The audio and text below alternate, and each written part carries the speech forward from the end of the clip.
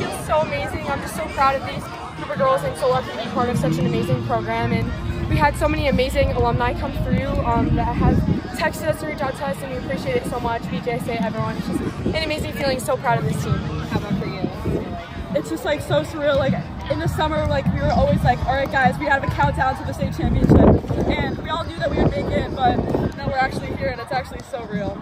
I mean, how fitting was it that you had the assist to, to, to the goal that kind of gave you the insurance and turns out you guys really need it? I mean, she's my go-to girl. I can always trust her with every pass, and I'm gonna miss playing with her so much. So.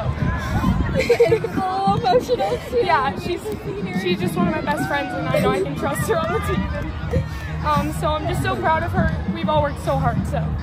What can you say about holding that together, and getting to be here? Obviously, it's emotional, but they're good tears, right? Yes, right? all happy tears. Yeah. Yeah. It just means so. Much. Yeah, I think it just genuinely means so much to us. Like this is our dream. So I'm just so proud. Everyone, Anna had great saves coming up at the end, and everyone played their role. Every single game we had people step up. So I couldn't be more proud. And thank you to Kofi and Coach Q and Coach Hartso for everything they've done for us. It's been amazing. So. This is our good luck charm. Yes, do it! He always with us when we win. Awesome. Congratulations, Thank guys. you. Go Mills. You got it. Congratulations. You talk a little about those two goals you got and how you got in position to get those goals. Well, on the first one, I know I started really wide so we could look for the slip ball, and I just ran onto it, and I knew I had to do everything I could to get a touch on it, and then I just placed it in the corner, and that already I just know made the whole team so ready, so pumped.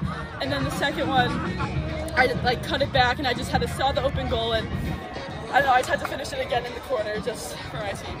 Can you talk about your defense today and how well I'm playing? Yeah, well, our defense is always so solid, and especially Anna having the crazy uh, punch over the goal um, save, and just everyone's so solid, and they talk together. Everyone gets along so well, and I think that's what really pushes us over the top, like our team chemistry, and everyone loves each other, so we love playing together.